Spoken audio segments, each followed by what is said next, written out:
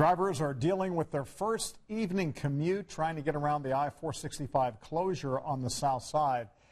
As you can tell, I-70 is moving pretty slowly with all that extra traffic from 465 tonight. And while this major project on the south side is just getting started, more construction projects are already in the works. Tonight, Mary Mills joins us live with some of the major improvements the city now is planning to take on. Mary?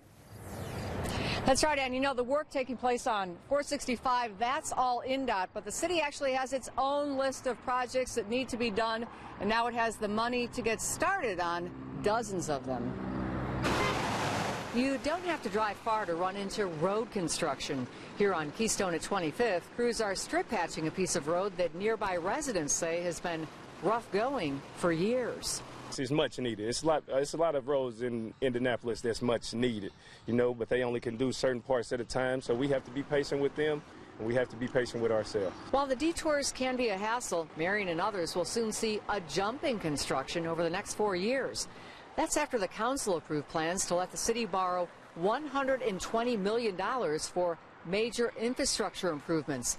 Projects that have to last longer than the lifespan of the bonds, which is at least 20 years or more.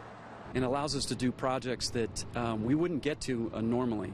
Uh, a lot of bridge projects, a lot of fixing of concrete streets across the city, some of which haven't been touched in years. He says that 20 million will go toward new curbs and new sidewalks, adding ramps to make them ADA accessible.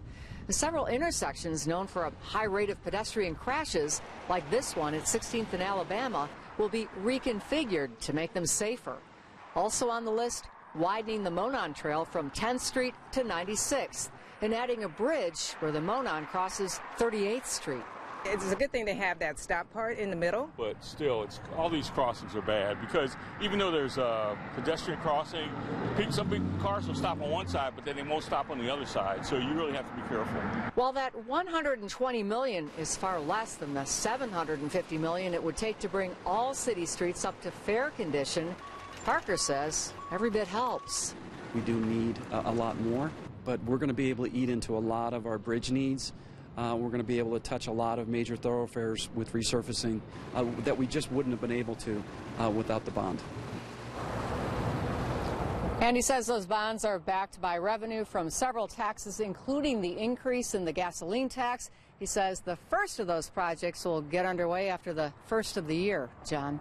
All right. Thank you, Mary Mills on the